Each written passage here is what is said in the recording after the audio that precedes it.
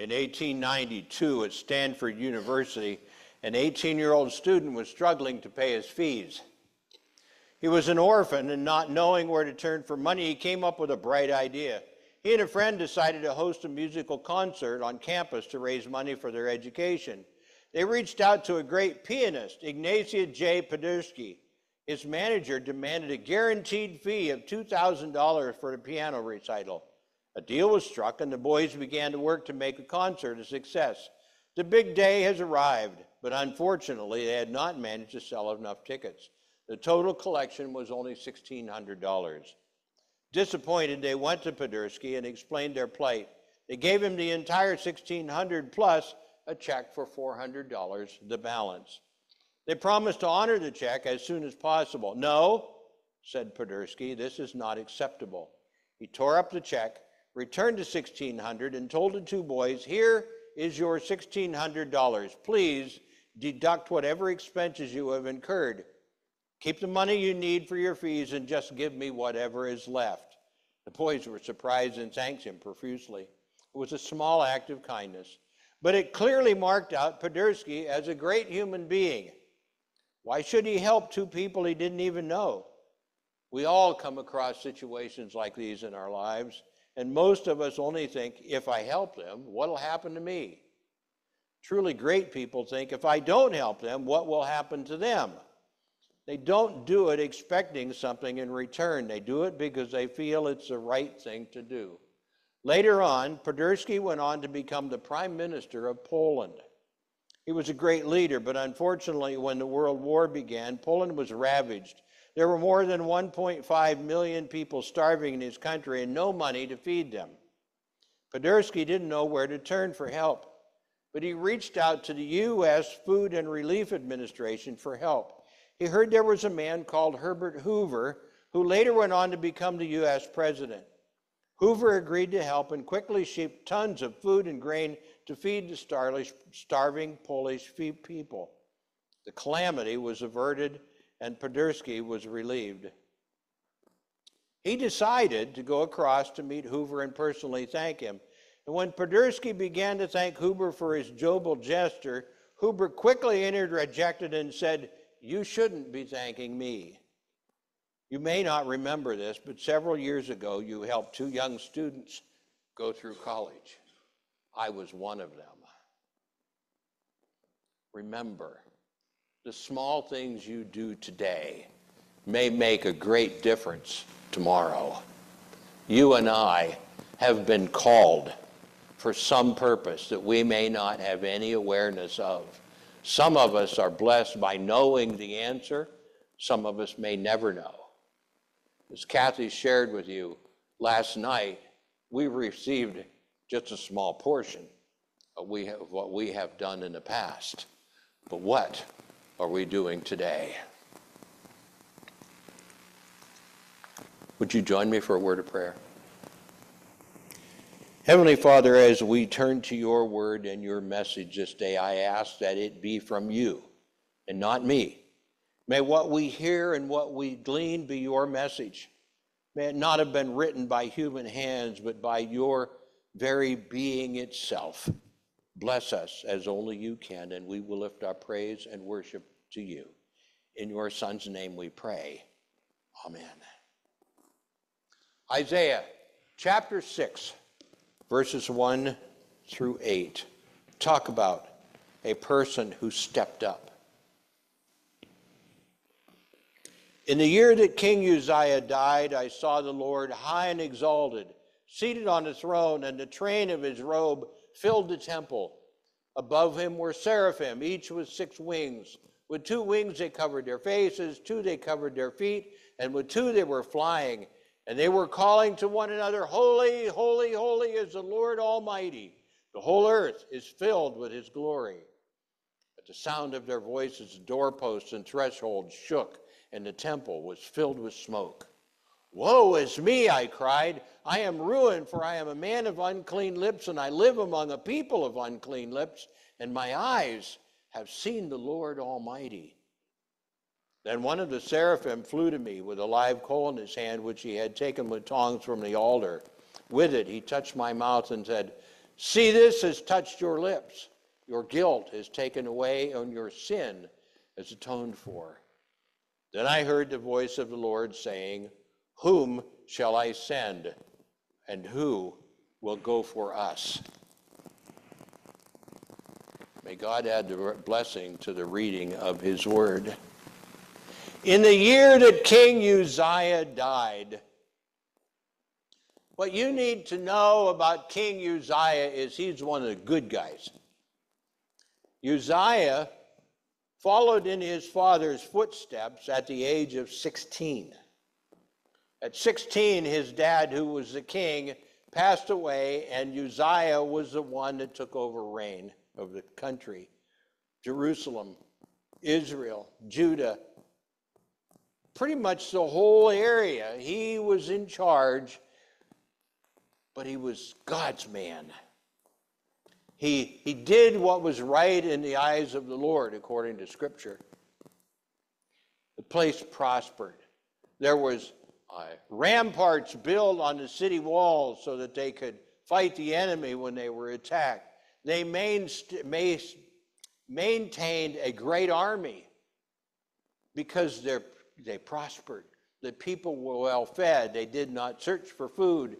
Uh, they behaved themselves. They followed in the footsteps of God. Everything was peaceful, it was great. Uzziah followed the word of the Lord. But as things happen, things change. And eventually Uzziah went off the track.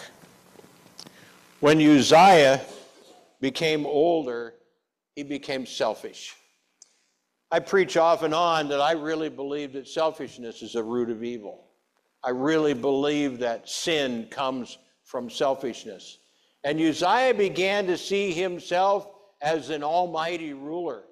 Because things were great because of his decisions, he decided that he was the one that had done it. He forgot that he was God's man. So he went into the temple one day and he proceeded to light the incense. Now, everybody knew, especially the priests, that the only people that were allowed to light the incense in the inner sanctum of the temple were the priests. God had declared this, and so it was made so. But Uzziah decided that he was grand and mighty and he could do anything he wanted to. He went into the inner sanctum and proceeded to light the incense, and the priests revolted. Isaiah being one of them and they threw him out of the temple. Well, guess what? Uzziah lost his temper. He got mad. He started to fight. But they still would not let him in, and God struck him with leprosy. God said, You have broken the law. You have done what was against my decree. And it wasn't too long, and leprosy claimed Uzziah's life. It didn't matter that Uzziah was not well, uh, his son followed him. And so he took over reign, but he still followed in his footsteps, in his father's footsteps. And so things were okay for a period of time, but the Assyrians were on the back burner. They knew that as soon as Uzziah had fallen, that they would be able to take over the country because his son was either not qualified yet or people were just weak because they had relied on Uzziah for so long. The people began afraid. The people began to worry. Isaiah was worried. Isaiah began to fret. Isaiah didn't know what to do, and so he went to the temple. And when he entered into the temple to light the incense, there was God. This vision came before him. The temple was filled with God's robe. He was so large that he couldn't see God's face, but he knew he was in the presence of God. Seraphim were flying up above. They were tending to God's every wish. And Uzziah immediately realized that there was God, there were the angels, and there was him. Third level below what he could possibly attain. He realized immediately that he was a sinner and that the people that he came from were sinners. And in being into God's presence, understanding that anyone who entered into God's presence and saw God would die. It was decreed. I believe it was in the book of Exodus that God had said, Anyone who sees my face will die. And so he knew. Woe is me. Hebrews' interpretation is just a little bit different from what we see. What the Hebrews wrote it as was Isaiah said, I will be silent before the Lord. Understanding that, Isaiah had nothing that he could possibly say to God that God did not already know. God was so much more than what he could possibly attain.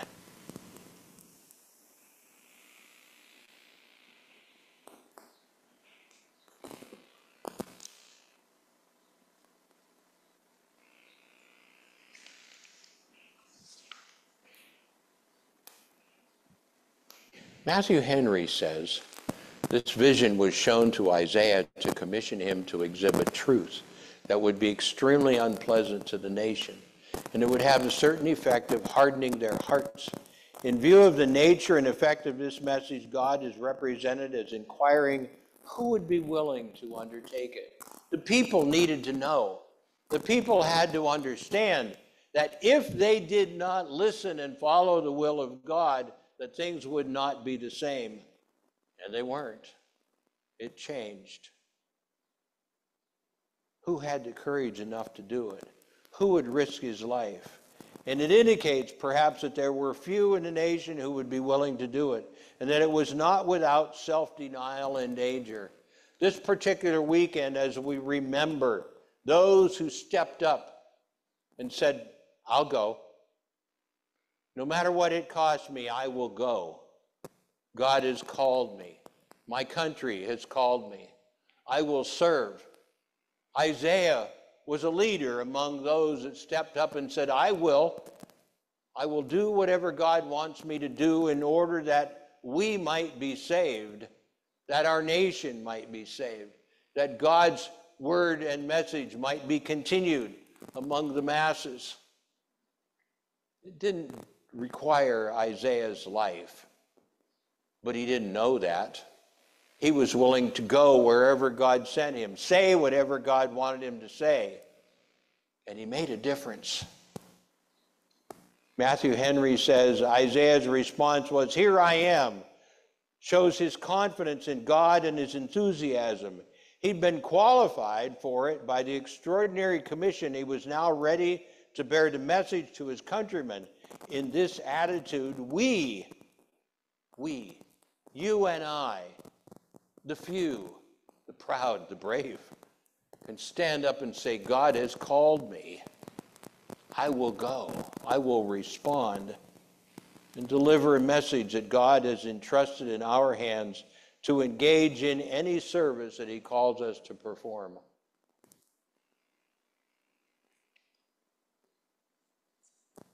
Touching Isaiah's lips with a coal from the altar, the angel said, Now that this has touched your lips, your guilt has departed and your sin is blotted out, was an act symbolic of God's cleansing and purifying grace. Forgiven. Forgiven. Do we live our call?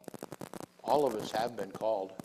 All of us that claim ourselves as brothers and sisters of Jesus Christ have been called to serve, had been called to step up and say, Here I am, send me.